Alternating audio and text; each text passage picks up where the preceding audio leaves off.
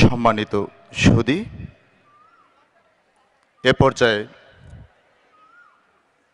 আজকের এই অনুষ্ঠানের প্রধান অতিথি মহোদয়, major general S M Shamimuzzaman GOC মহোদয়কে বক্তব্য, উদ্বোধনী ঘোষণা, কেক কাটা এবং ম্যাগাজিনের মোড়ক উন্মোচন করার জন্য মঞ্চে আসার জন্য সবিনয় অনুরোধ জানাচ্ছি।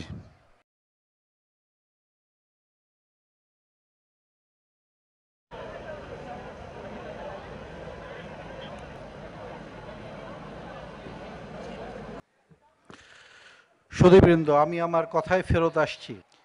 দেরিতে হলেও যারা এই পুনর্মিলনী অনুষ্ঠান আয়োজন করার স্বপ্ন দেখেছেন এবং সেই স্বপ্ন বাস্তবায়নে এগিয়ে এসছেন সেই সকল। আমি বলব বীর ছাত্রদের, আমি আমার ব্যক্তিগত তরফ থেকে এবং এই স্কুলের সকলের পক্ষ থেকে অকৃত্রিম ধন্যবাদ জানাচ্ছি।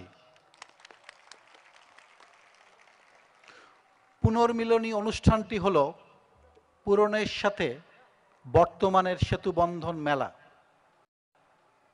যেখানে পুরাতনরা তাদের স্মৃতি, তাদের অভিজ্ঞতা নূতনদের সাথে ভাগাভাগি করে নেন। অতি সাম্প্রতিক সময়, ছয় মার্চ তারিখে আমাদের এই সেনানিবাসে একটি কুচকাওয়াজ বা পতাকা উত্তোলন অনুষ্ঠান অনুষ্ঠিত হয়েছিল। সেখানে আমাদের মাননীয় সেনাবাহিনী প্রধান ছাড়াও চারজন প্রাক্তন সেনাবাহিনী প্রধান এসেছিলেন, যার মধ্যে একজনের বয়স ছিল নব্বই বছর প্রায়। আল্লাহ তাদের আরও দীর্ঘজীবী দান করুন। সেই অনুষ্ঠানে প্রাক্তন সেনাবাহিনী প্রধানদের আসার একটি উদ্দেশ্য ছিল তাদের সাথে অভিজ্ঞতা ভাগাভাগি ভাগাভাগি করে নেওয়া এবং আমরা আজকে যারা সেনাবাহিনীর বিভিন্ন পর্যায়ে কমান্ডে আছি তারা আমাদের প্রাক্তনদের থেকে, তাদের অভিজ্ঞতা থেকে জ্ঞান লাভ করার চেষ্টা করেছি। এবং এটা একটি ধারা যেটা বিভিন্ন পর্যায়ে একের থেকে অপরের অভিজ্ঞতা হস্তান্তরিত হয়।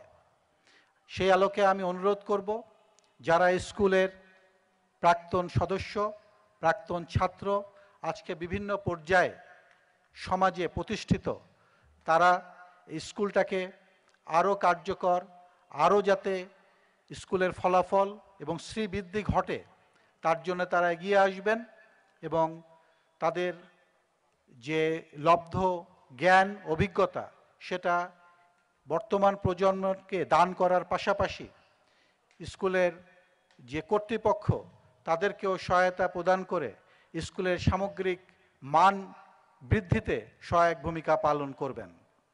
সিলেট শুধু একটি শহর, জেলা বা বিভাগ নয়। সিলেট একটি বিশেষ নাম, যার সঙ্গে জড়িয়ে আছে অনেক ইতিহাস এবং বাংলাদেশের অনেক গর্ব। সিলেটকে বলা হয় সিটি অফ সেইন্টস। প্রাকৃতিক সৌন্দর্যের লীলাভূমি সিলেট। চা বাগান কারও দেখতে মন চাইলে তারা ছুটে আসেন সিলেটে। সুতরাং এই সিলেটের অধিবাসী হিসাবে আমাদের সবার গর্ববোধ করা উচিত। এবং এই শহরের একটি আদর্শ বিদ্যাপীঠ হিসাবে Sylhet cantonment board high school নিজেকে প্রতিষ্ঠিত করতে সমর্থ হবে। আজকের এই দিনে আমি এই আশাবাদ ব্যক্ত করছি। আমার বক্তব্য শেষ করার আগে আমি এই পুনর্মিলনী অনুষ্ঠান যাতে সুন্দরভাবে, সফলভাবে সমাপ্ত হয়, সেটা কামে মনে প্রার্থনা করছি। আপনারা কষ্ট করে আজকের অনুষ্ঠানে এসেছেন, আপনাদের সবাইকে ধন্যবাদ। আসসালামু আলাইকুম।